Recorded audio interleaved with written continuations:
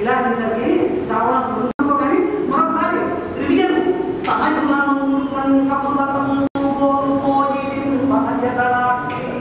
మొత్తం చనిపోయేది ఏ ఒకట పట్టుకుని చదివేసి నేను అనిపించి హ్యాపీగా మొదలైంది నేను ఒకటే ఏమిటి ఏమి చేయాలి?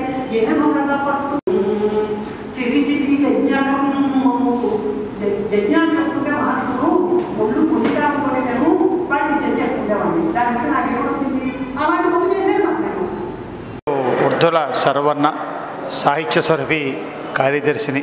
సాహిత్య స్వరూపి ప్రతి నెల సెకండ్ సాటర్డే నాడు Visakha public library AC hall నందు సాహిత్య కార్యక్రమాన్ని నిర్వర్తిస్తుంటుంది దానిలో భాగంగా ఈరోజు సాహిత్య కార్యక్రమంలో గోపీనాథ రామాయణం అనే అంశం మీద వరిగంటి రాజరాజేశ్వరి ప్రసాద్ అనే వ్యక్తి ప్రసంగం చేశారు.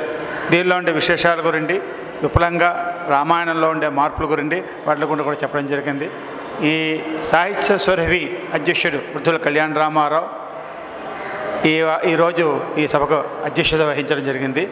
తరువాత చావలి ఆంజనేయ మూర్తి గారు ఈనాడు కరస్పాండెంట్ ఒకప్పుడు. అతను కూడా ఈరోజు గౌరవాతిథిగా అటెండ్ అయ్యారు. ఈ సాహిత్య కార్యక్రమానికి అనేక మంది సాహితీవేత్తలు సాహితీ ప్రియులు విచ్చేస్తారు.